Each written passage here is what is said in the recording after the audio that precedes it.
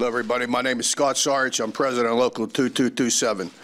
And I'd like to tell you a story about uh, my father during the 80s. Uh, he lost his job due to uh, imports coming into this country.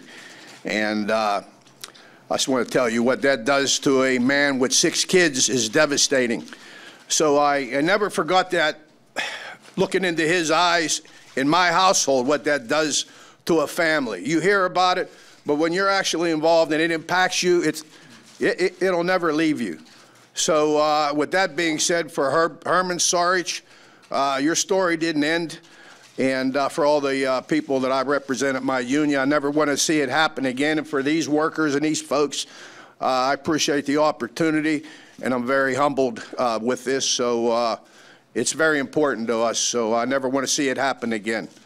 And uh, I say that from sincerely from my heart. And I thank you for the opportunity for what you do. You. Your father's Herman? Herman, sorry, yes, sir. Yes. Yes. Well, your father Herman is looking down. He's very proud of you right Well, he's now. still alive. He's- Huh? Oh, he is? Well, then he's, hey, then he's even more proud of you. Then he's even more proud. Anybody else? Hey there, thanks for checking out CNBC on YouTube. Be sure to subscribe to stay up to date on all of the day's biggest stories. You can also click on any of the videos around me to watch the latest from CNBC. Thanks for watching.